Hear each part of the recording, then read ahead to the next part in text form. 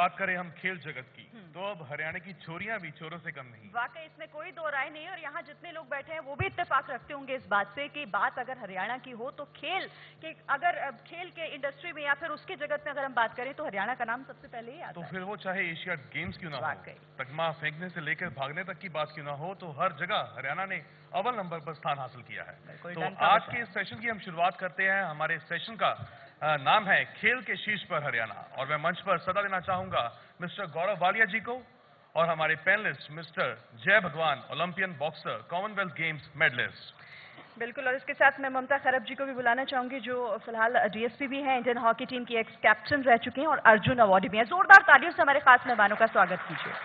Miss ममता खरब को मैं बुलाना चाहूँगा former captain women hockey team और miss Sunil Dabas coach women kabaddi team इनका भी जोरदार तालियों से स्वागत कीजिए।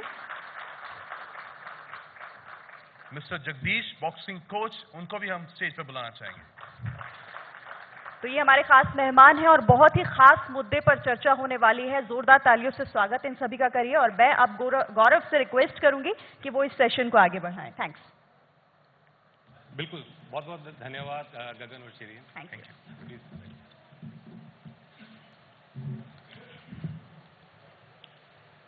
माइक ले लीजिए प्लीज़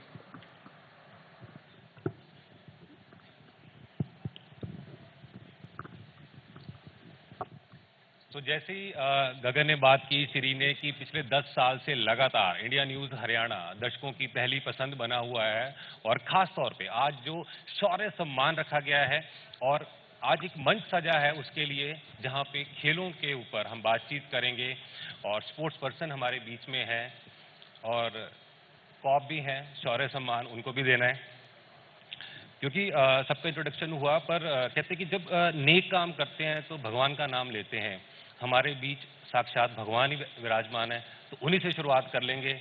भगवान जी आपके राज में कैसा चल रहा है हरियाणा? राज तो सर जनता का होता है हम तो सेवक हैं और सेवा कर रहे हैं। हम्म, और हम ट्राई कर रहे हैं कि जैसे हमारा यूथ ज़्यादा से ज़्यादा मेडल लेके आ रहा है तो हमें बहुत ज़्यादा खुशियाँ होती हैं और वो फीलिंग्स आती हैं जब हम खेलते थे। हम्म, जब फ्लैग ऊपर जाता था तो आँखों से आँसू आता था और बॉडी के सारे रोए खड़े हो जाते थे। तो काफ़ी अच्छा लग रहा है जब ज़्यादा से ज़्यादा एशियन गेम्स में मेडल आ रहे हैं तो काफ़ी अच्छा फील हो रहा है। देखिए क्योंकि खेलों में शीर्ष पर हरियाणा हमारा विषय तो ये है पर इससे हटके मैं कुछ जानना चाहूँगा आपसे उसके बाद हम खेलों की भी बात करेंगे। जो एक बात सामने आ रही है कि आजकल आपकी नज़रें जो हैं हरियाणा के घरों की वॉशिंग मशीन्स पे लगी हुई हैं। उसके पीछे की सच्चाई क्या है ये भी सब जानना चाहते हैं। देखिए जैसे कि आजकल चल रहा है कि यूथ सारा ड्रग्स के पीछे भाग रहा है तो मेरा ये मानना है कि जब से हमारी माताएँ बहनों ने वॉशिंग मशीन यूज़ करना स्टार्ट किया है तब से वो बच्चे जो नशा कर रहे हैं उनको टाइम पे नहीं संभाला जा रहा है। हम्म, क्योंकि जब माताएँ बहनें पहले होती थी वो कपड़े अपने हाथों से धोती थी अपने बच्चों के तो उनके पॉकेट्स में कुछ ना कुछ ड्रग्स का जो भी वो आदि होते थे मिल जाता था। तो पता हो जाता था कि बच्चा बिगड़ गया है तो उनको रोक दिया करते थे बट अब क्या हो गया है कि वो बंडल बना के वॉशिंग मशीन में फेंक देते हैं और फिर वॉश होके वो जो पैसा होता है या कुछ भी होता है, वो बाद में सूखने के बाद ही मिलता है।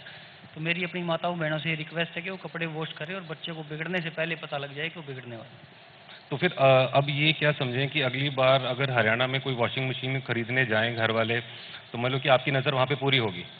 मेरी वॉशिंग मशीन पे भी और खासकर मैं यूथ को जो भी बच्चा मुझे गलत चलता हुआ दिखाई देता है हम्म, मैं अभी सी आई टोहाना में काम कर रहा हूँ तो मैं उसको ड्रग्स के पीछे पड़ा रहता हूँ और मैंने अभी तीन महीने के अंदर सौ से ज़्यादा जो ड्रग्स बेचते हैं उनको जेल भेजा है। हम्म। और मैं ट्राई करता हूँ कि हमारा जो यूथ है वो ड्रग्स फ्री हो और ड्रग्स फ्री होगा तभी हमारा हिंदुस्तान में नाम रोशन होगा और ज़्यादा से ज़्यादा मेडल ले पाएँगे। बहुत अच्छी बात आपने की कि ड्रग से दूर रखना नौजवानों को ममता खराब जी भी हमारे पास हैं। ममता जी आप भी पुलिस में हैं। जो जय भगवान जी ने कहा, ये विषय काफ़ी महत्वपूर्ण ये भी है, क्योंकि अगर हमने यूथ को आगे लेके जाना है तो ड्रग से दूर रखना पड़ेगा। तो ये चैलेंज है। तो हमने देखा पंजाब में भी बहुत बड़ा चैलेंज है तो अब हरियाणा में भी ये चैलेंज है आपके सामने वो भी। स्पोर्ट्स के लिहाज से अगर देखें तो। बिल्कुल, बहुत बड़ा चैलेंज है, क्योंकि ड्रग्स सिर्फ़ स्पोर्ट्स नहीं, वैसे भी एक आम आदमी को खराब कर रहा है, और हमारे यूथ में क्षमता है हम सब में क्षमता है कि हम बहुत अच्छा कर सकते हैं। तो एक ऐसा नहीं होना चाहिए कि एक इस वजह से हम लोग पीछे रह जाएँ। हम्म, तो जैसे जय भगवान ने भी कहा है पुलिस भी मेहनत कर रही है इस काम के लिए और सरकार भी लगातार लगी हुई है कि ड्रग्स को ख़त्म किया जाए। हम्म। पर अ, क्योंकि आपको एक गोल्डन गर्ल का भी आ, टाइटल दिया जाता है तो ये गोल्डन गर्ल से गोल्डन सवाल कि हमारे गोल्ड कम क्यों आ रहे हैं इसमें नहीं कम नहीं आ रहे हैं। पहले से तो बड़े हैं देखिए एशियन पहले से गेम्स बड़े में पहले से बड़े हैं और अभी तो चल रहा है एशियन गेम्स और भी हम्म। गोल्ड आने की उम्मीद है और काफ़ी इम्प्रूवमेंट है पहले से स्पोर्ट्स में अब तक। पर अ, जब हमने देखा कि चक दे इंडिया हमने मूवी देखी और जोश भर जाता है तो आपको भी वैसे ही देखा जाता है कि जब आप आपने स्कोर किया वो गोल दैट वाज गोल्डन तो वैसा मुकाम वापस क्यों नहीं आ पा रहा? उसमें क्या चुनौतियाँ हैं भारत के आगे? आएगा जैसे मैंने आपको कहा है पहले से बहुत बेहतर हो चुका है हम्म। स्पोर्ट्स और जहाँ तक कि मैं हॉकी से बिलोंग करती हूँ तो हॉकी में भी देखेंगे आप महिलाएँ बहुत अच्छा कर रही हैं पुरुष हम्म। बहुत अच्छा कर रहे हैं। हम्म, ओलंपिक्स में पहली बार महिलाओं ने क्वालिफाई किया है हम्म, और उसके साथ साथ मेडल भी ले रही हैं और आप एशियन गेम्स में भी देखेंगे बहुत अच्छा खेल रही हैं हम्म। और एशियन गेम्स में भी कोई ना कोई मेडल ज़रूर लेके आएँगे। तो आपको उम्मीद है अभी और मेडल आने वाले हैं? बिल्कुल बिल्कुल है। और आएँगे। सुनील डबास जी भी हमारे साथ हैं। आप किस तरह देखते हैं कि ये जो गोल्ड है, ये जो गोल्ड मेडल्स हैं तो इनकी भरमार किस तरह हो सकती है? हरियाणा में तो वैसे अक्सर होती रहती है, और कैसे हो सकती है? देखो, मैं सबसे पहले तो आपकी इस पहल का बहुत बधाई देती हूँ कि आप लोगों ने इसको उठाया है। मुद्दा बहुत अच्छा है। और दूसरी ये कि हरियाणा आज शीर्ष पे है। हम चाहे कॉमनवेल्थ गेम्स हो एशियाड हो चाहे ओलंपिक हो चाहे पैरा ओलंपिक हो चाहे खेलो इंडिया हो हम नंबर वन पे हैं थे और रहेंगे। हम्म, क्योंकि ये हरियाणा की जो मिट्टी है एनवायरनमेंट है मैंने पिछले दिनों एक इसी टॉपिक को लेके खेलों में महारा देश हरियाणा करके हम्म। ट्रिब्यून में एक लेख लिखा था। लहरें करके 29 अप्रैल को आया था। उसमें मैंने पूरे हरियाणा का स्पोर्ट्स का एनालिसिस किया था कि हरियाणा में स्पोर्ट्स है तो वो कैसे है क्यों आगे बढ़ रहा है। हरियाणवी मिट्टी हरियाणवी कल्चर और हरियाणवी डीएनए जिसको मैं डीएनए ही कहूँगी हालाँकि उस पर अभी रिसर्च वर्क करने की ज़रूरत है। हम्म, हरियाणवी डीएनए उसको मैं जिद्दी डीएनए कहती हूँ जो कभी भी हार ना मानने की ताकत रखता है। और स्पोर्ट्स है वो हमारा अतिवादी एक्सट्रीमिस्ट की तरफ़ जो बच्चा होगा, वो मेडल हमेशा जीतता है, कभी हार ना मानने की ताकत है, वो हरियाणवी प्लेयर रखता है। और अभी देश में, मेरे ख्याल से मुझे लगता है कि अभी भी जब कोई भी बड़ा इवेंट होता है तो पूरा देश हरियाणवी खिलाड़ियों की तरफ़ देखता है कि ज़रूर कोई ना कोई मेडल है। वो देश की झोली में हरियाणा का खिलाड़ी डालेगा और उस पर हम लगातार सक्सेस भी होते आ रहे हैं। हम्म, तो नो डाउट हरियाणा आगे बढ़ता जाएगा। दो चीज़ें मैं इनमें बेसिकली मानती हूँ। एक हरियाणवी डीएनए तो है ही शारीरिक सौष्ठव भी है। और दूसरा जो हरियाणा में स्पोर्ट्स का कल्चर है उसमें कुछ तो हमारा ग्रामीण एरिया है, वो कल्चर बहुत अच्छा जो है, स्पोर्ट्स का कल्चर हमारे गाँव में है। और सरकार की जो पॉलिसीज़ हैं, उसमें एक छोंक का काम किया है। जैसे अभी रिसेंटली सरकार ने 600 स्पोर्ट्स एकेडमी शुरू की हैं। पूरे देश में हमारी 600 एकेडमी नहीं है। केवल गवर्नमेंट ऑफ़ इंडिया की स्पोर्ट्स अथॉरिटी ऑफ़ इंडिया की 78 एकेडमीज हैं टोटल इंडिया में। और हमारे अकेले हरियाणा में अभी 600 नर्सरी शुरू की गई हैं। तो वो नर्सरी आने वाले समय में बहुत अच्छा रिज़ल्ट देंगी।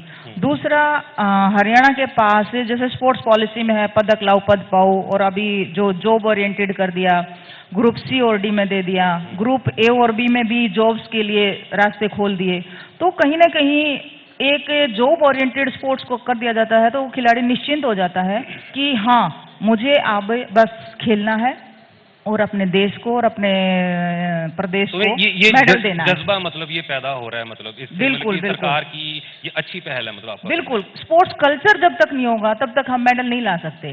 और हरियाणा एक स्पोर्ट्स कल्चर पैदा करने में कामयाब हुआ है। कामयाब रहा है ठीक है। जगदीश जी आपके साथ बैठे हैं। जगदीश जी आप भी एक नर्सरी चलाते हैं। मतलब कि उन बच्चों को आप आगे लेके जा रहे हैं जो भविष्य होगा स्पोर्ट्स का। तो आप किस तरह देखते हैं कि क्या कमी अभी भी है? वो जो बच्चे आपके पास आते हैं सीखने के लिए अ, क्या उनकी चाहत वैसी होती है? या जैसे मैडम ने ज़िक्र किया कि माँ बाप पहले सोचते हैं कि कल को इसको जॉब मिलेगी कि नहीं मिलेगी तभी अपने बच्चों को लगाएँ। वो जज्बे की इन्होंने बात की। तो कौन सी चीज़ ऐसी है जो अभी भी मिसिंग है जिसको आगे लाने की ज़रूरत है? हरियाणा खेलों में शीर्ष पर है इसमें कोई दो राय नहीं है। लेकिन मैं जैसे मैडम डवास ने बताया कई बातें आपने पूछी हैं, कमियों की बात है तो मेरा ध्यान कमियों की तरफ़ ही रहेगा। पहला जैसा कि बताया कि हरियाणा में स्पोर्ट्स कल्चर है, हमारी माटी में खेल है, दम है, मैं इस बात से इतफाक रखता हूँ। लेकिन सरकार की जो नीतियाँ हैं, सरकार ने बार बार जो नई सरकार आती है, वो अपनी नई नीति की एडवर्टाइजमेंट करती है, उसका ढकोसला करती है। वर्तमान सरकार से मैं संतुष्ट नहीं हूँ।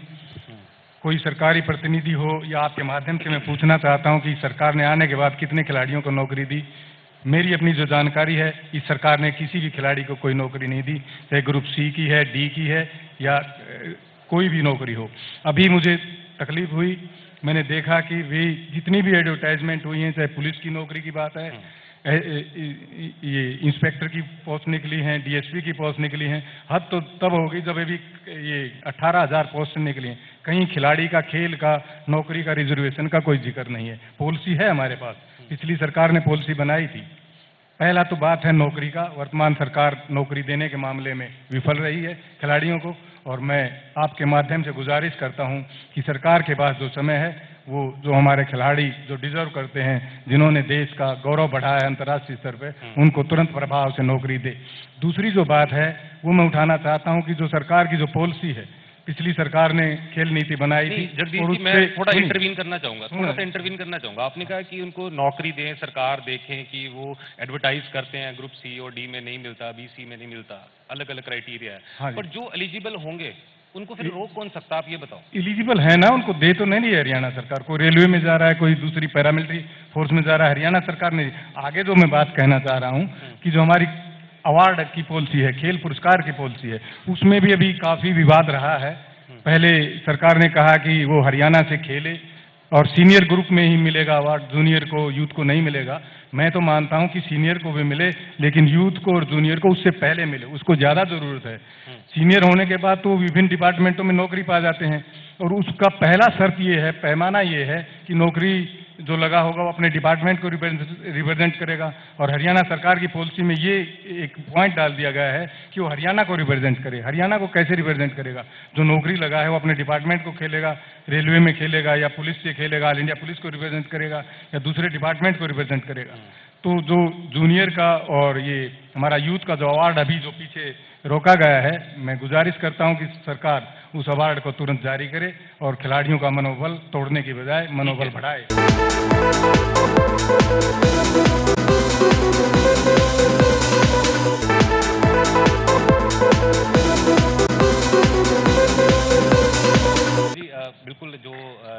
ने रखा, क्योंकि ये ग्राउंड रियलिटी वो ज़िक्र कर रहे थे। पर आप कह रहे थे कि इस पॉलिसी का काफ़ी फ़ायदा हुआ। मैं जय भगवान जी और ममता जी से भी पूछूँगा। पर जो उन्होंने बातें कही, कहीं ना कहीं इत्तेफाक रखते हैं कि ये दिक्कतें आती हैं। देखो जॉब देने में थोड़ा सा डिले है। डिले है। क्योंकि खिलाड़ी जब खेल के आता है तो इमीडिएट उसको अगर कैरियर जिस हिसाब से हमने पॉलिसी बनाई है, उसको एग्जीक्यूशन में मुझे कहीं ना कहीं कुछ थोड़ी सी कमी नज़र आ रही है डिले है। और सर आपको मैं ये ज़रूर बताना चाहूँगी कि जो हमारे खिलाड़ियों को नर्सरीज का एक साल का बजट है वो अलॉट हो चुका है। ये कहीं ना कहीं एग्जीक्यूशन लेवल पे कुछ डिले हो सकता है लेकिन जो नर्सरीज हैं उनका मेरे संज्ञान में है कि एक साल तक का तो उनका बजट अलॉट हो चुका है। तो नर्सरीज का बजट आ जाएगा तो खिलाड़ियों को मिलता रहेगा और कोचिज को भी हाँ जो कोचेज लगाए गए हैं, वो यूपी स्टेट में ऐसे ही कॉन्ट्रैक्ट बेस पे कोचेज लगाए हैं, उनको थर्टी थाउज़ेंड सैलरी दी जाती है। हरियाणा में एक एनएस क्वालिफाइड कोच है, उसको अगर पंद्रह हज़ार सैलरी पर हम रखते हैं तो वो उसके लिए कम है। क्योंकि कोई भी कोच की जो ट्रेनिंग होती है, वो बहुत हार्ड होती है, और पूरे देश से, मुश्किल से एक खेल से पंद्रह या बीस पर ईयर है, वो कोच बनकर आते हैं। तो उनको एक कैरियर बड़ा मुश्किल से टफ कैरियर मिलता है और फिर उसको हम केवल पंद्रह हज़ार में अगर कॉन्ट्रैक्ट साइन करते हैं तो वो उसके लिए बहुत कम है आज ये ये पंद्रह हज़ार। दिक्कतें हैं ये ये ग्राउंड लेवल हाँ, के ये कुछ जी है। आप किस तरह देखती हैं? क्योंकि खुद आप प्लेयर हैं और आपने देखा है इन चुनौतियों को किस तरह से जो जो उन्होंने बात उठाई बिल्कुल। जैसे ही कोई खिलाड़ी कोई मेडल जीत के आता है देश में और खासकर हरियाणा की बात हम कर रहे हैं तो मेरे ख्याल से उसको समय रहते उसको जो सम्मान मिलना है, जो सुविधाएँ मिलनी है, वो मिल जानी चाहिए। क्योंकि जो उसका चाम रहता है, जो मेडल का चाम है उस खिलाड़ी के पास, वो कहीं ना कहीं फीका पड़ता रहता है। तो समय पर ये सारी सुविधाएँ मिल जानी समय पे मिलनी चाहिए। जय भगवान जी। आपको तो सब कुछ पता ही है, भगवान हो आप तो। देखिए ये मेरे दादाजी ने नाम रखा था कि लोग जो आज पापी दुनिया हो जाएगी तेरा नाम लेके पाप धो लेगी तो मैं बार बार लूँगा फिर इसका मतलब तो। तो नहीं ऐसा मैं मज़ाक कर रहा हूँ। मुझे लगता है कि जब स्पोर्ट्स मैन एशियन गेम्स में और कॉमनवेल्थ गेम्स में जा रहे हैं उससे पहले उनको बूस्टअप किया जाए। हम्म, उनको जैसे आप मीडिया का प्यार मिल रहा है इंडिया न्यूज़ हरियाणा का पहले भी हमने प्रोग्राम अटेंड किया ऐसा प्यार मिलता है। तो जो लाइटिंग का नशा है वो एक स्पोर्ट्समैन के अंदर अपने मेडल की तरफ़ अट्रैक्टिव करता है। जब हम विजेंद्र सिंह और हमारे सारे स्पोर्ट्स पर्सन के पीछे कैमरे भागने लगे थे तो हमें लगता था कि कहीं हमारी ट्रेनिंग कम ना रह जाए। तो हम जहाँ दो घंटे ट्रेनिंग करते थे वहीं आधा घंटा वो ट्रेनिंग हमने बढ़ा दी थी। तो मुझे लगता है कि आप लोगों का जितना प्यार मिलता रहेगा स्पोर्ट्समैन को आप स्टार बनाते रहेंगे तो मेडल हमारे ऑटोमेटिकली ज़्यादा बढ़ते रहेंगे। मेरे को याद है एक बार मैंने आपसे जो बात की थी चंडीगढ़ में ही थे तो विजेंद्र भी साथ में ही थे। तो जो अ, जिस प्रोफेशनल रेसलिंग में वो जा रहे थे तो आपने भी और उन्होंने दोनों ने जब मेरे से बात की तो आप दोनों का ये कहना था कि पैसा तो चाहिए। आपको याद होगा पैसा तो चाहिए मगर हर प्लेयर को चाहिए। बिल्कुल सर। हम इतनी मेहनत करते हैं तो बिना पैसे के तो गुजारा है नहीं। बिल्कुल सर हमारे कोच हैं जगदीश जी हमें तैयार किया है। मेरे सुबह सिंह बेनीवाल कोच थे उसके बाद में जगदीश जी के पास ट्रेनिंग की हमने। हम्म, तो हम भिवानी हॉस्टल साई में थे तो हम वन वीक के लिए हमारे पास हंड्रेड रुपीज़ होते थे सिर्फ़ जिस जूस पीने के लिए या कुछ भी होने के लिए। जब इंजरी हो जाती है तो हम किसी और की तरफ़ देखते हैं कि यार कोई हमें स्पॉन्सर कर दे हमारी चोटें ठीक हो जाएँ और हम आगे इंडिया के लिए मेडल जीत पाएँ। हम्म, अगर हमारे पास जैसे अब पैसा आ रहा है तो अब खुद खिलाड़ी जो हैं अपने पास खुद पैसे से जाके बॉम्बे जाके अपना ट्रीटमेंट करवा रहे हैं नेक्स्ट टूर्नामेंट की तैयारी कर रहे हैं और सप्लीमेंट्स लेके आ रहे हैं। तो पैसा होना स्पोर्ट्स के अंदर बहुत ज़रूरी है और बगैर पैसे तो देखो जी कुछ भी नहीं हो पाता। बगैर पैसे नहीं होता। जगदीश जी विजेंद्र सिंह का एग्ज़ाम्पल हमारे सामने है कि वो प्रोफेशनल बॉक्सर अब बन गए। तो किस तरह देखते हैं कि जब इसका कंपैरिजन होता है अपना क्रिकेट के साथ, तब लगता है कि बाकी स्पोर्ट्स कहीं ना कहीं थोड़े फीके हैं। ये बड़ी कंट्रास्ट है, एक रियलिटी जब उसके साथ तुलना होती है तो लगता है कि ये क्यों? ये आपके मन में भी आता होगा ये। बिल्कुल है, मैं भी इस रियलिटी में विश्वास करता हूँ और मैं ये जो आप तुलना कर रहे हैं इसमें सबसे बड़ा रोल आप नाराज़ नहीं हो तो मैं बताएँ मीडिया का है। दुनिया के किसी भी कोने में कोई भी कोई बॉल फेंकी जाती है कोई क्रिकेट खेलता है चाहे अपना जो दिव्यांग हैं इनकी क्रिकेट हो चाहे कोई दूसरी क्रिकेट हो चाहे अपना रणजी हो उनका पूरा बायोडाटा पूरा मीडिया में आप किसी भी प्रिंट मीडिया में या इलेक्ट्रॉनिक मीडिया में पढ़ सकते हैं। दूसरे खिलाड़ी एशियन लेवल पे या वर्ल्ड लेवल पे भी पदक जीतते हैं, उनकी या तो खबर लगती नहीं है, लगती है तो किसी कोने में छोटी सी, उसको कोई पढ़ नहीं पाता है। तो मैं इस पूरा जो ये जो पॉपुलरिटी है, आज जो क्रिकेट है हमारे पूरे देश में जो कोने कोने में कहीं जगह नहीं मिलती तो मैंने छत पे भी खेलते देखे हैं आँगन में भी खेलते हैं गली में भी खेलते हैं रोड पे भी खेलते हैं। इसका सारा श्रेय सच्चाई तो यही है आपने रियलिटी की बात की है। इसका श्रेय मैं मीडिया को देता हूँ और मीडिया की भी कोई अपनी मजबूरी होती होगी उसको अपने चैनल चैनल नहीं चलाने के लिए। मैं अगर इंडिया न्यूज़ हरियाणा की बात करूँ तो हम तो प्रमुखता से दिखाते हैं और यही कारण बैठे भी यहीं पे हैं इस मामले में आपका यही कारण है। और हैं। अखबार की अगर तुलना करते हैं वो भी हम बड़ी खबर लगाते हैं आज समाज में और जो खेल की जो जो भी खबर होती है तो प्रमुखता से दिखाते हैं। बिल्कुल आप बधाई के पात्र हैं। कई बार पार्लियामेंट की कार्रवाई भी देखते हैं। किसी ने सेंचुरी बना दी तो कार्रवाई रोक के स्पीकर उसको बधाई देता है प्राइम मिनिस्टर उसको बधाई देता है। तब कई बार हमें थोड़ी सी पीस होती है, काश कि हम भी क्रिकेट से जुड़े होते। दूसरे खेलों की जो अनदेखी है, उसमें क्रिकेट का भी एक बहुत बड़ा रोल है। और जिसके लिए आपने तो कहा है कि आप दूसरे खेलों को जगह देते हैं, आप इसके लिए बधाई के पात्र हैं। लेकिन मैं दूसरे मीडिया हाउसेज से भी निवेदन करूँगा कि जो हमारे ओलंपिक गेम हैं, उनकी तरफ़ भी अपना ध्यान दें, उनको भी आगे बढ़ाने में अपना सहयोग दें। नहीं हम तो मानेंगे कि सबकी सामूहिक जिम्मेवारी है क्योंकि प्लेयर सबके होते हैं तो सबको ये रोल निभाना चाहिए। इंडिया न्यूज़ बखूबी अपना रोल प्ले कर रहा है तो सबको करना चाहिए हम ये भी कहते हैं।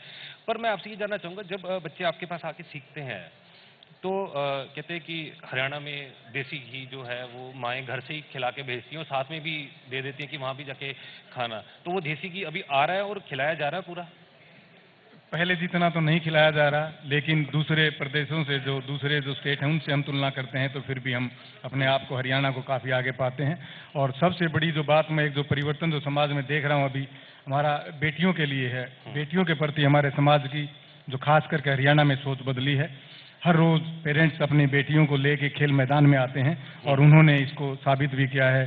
चाहे हमारी ये बुलाली बहने फोगाट बहने उन्होंने इन्होंने देखो अभी गोल्ड लेके पूरा एक नई मिसाल कायम की है और ये एक बहुत मील का पत्थर साबित होगा हमारी बेटियों को आगे बढ़ने के लिए।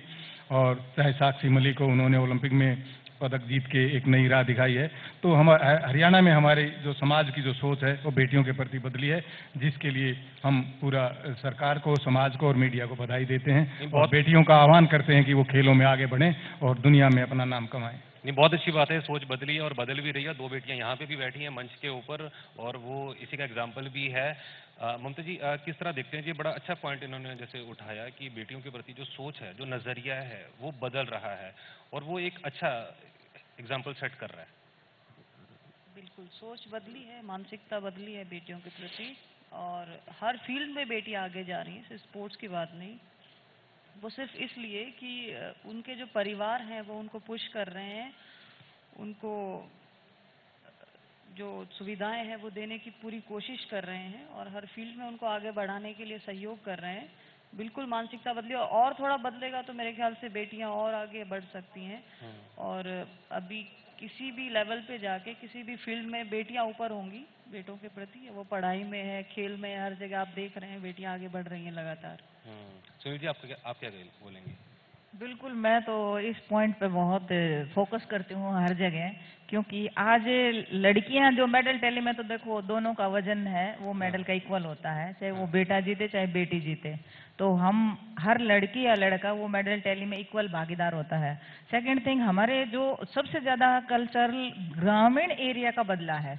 ग्रामीण एरिया में पहले लड़कियों को इवन ट्रैक सूट भी नहीं पहनने दिया जाता था, और आज वो लड़कियाँ, मैं मेरे गाँव का एग्जांपल देती हूँ, मेरे गाँव में कभी हम ट्रैक सूट नहीं पहनते थे।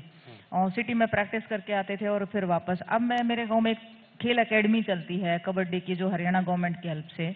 तो उसमें अभी पिछले दिनों एक टूर्नामेंट हुआ तो उनकी सबकी माएँ घूंघट निकाल के बैठी हैं टूर्नामेंट देख रही हैं। लेकिन उनकी बेटियाँ उन्हीं के सामने शॉर्ट्स में खेल रही हैं। ये ट्रांसफॉर्मेशन है ये बदलाव है। ये जो है। सोच में बदलाव हुआ है और सोच में बदलाव हुआ अगर वो देश तरक्की करेगा और आज हमारी बेटियों ने तो झंडे गाड़ दिए हैं।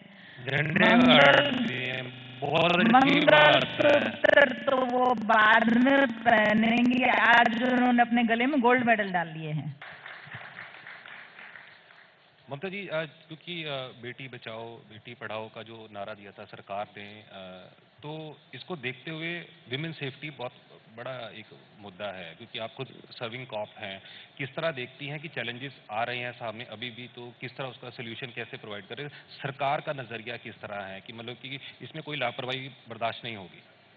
बहुत क्लियर कट है सरकार का जो एजेंडा है। वो अभी आपने पीछे देखा होगा अ, हमारे एक प्रोग्राम में आरएएफ जो रैपिड एक्शन फोर्स महिलाओं की अलग से तैयार की है सरकार ने।